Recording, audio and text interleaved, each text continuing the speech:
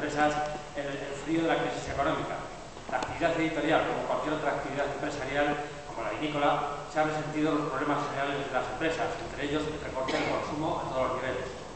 Pero ello no ha conseguido enfriar nuestras ganas de estar a pie de la información y del servicio a la sociedad y a los lectores. Por eso hemos realizado esta tercera edición con mayor esmero aún que las anteriores. Compensamos las dificultades de todo tipo con ilusión y ganas de hacer bien nuestro trabajo. El resultado lo tenéis entre las manos.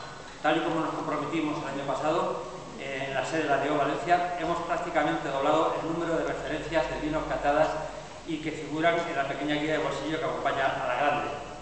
En la próxima edición mmm, quitaremos bueno, presentamos en, esta pequeña guía casi un vino valenciano por, por día del año. El año que viene intentaremos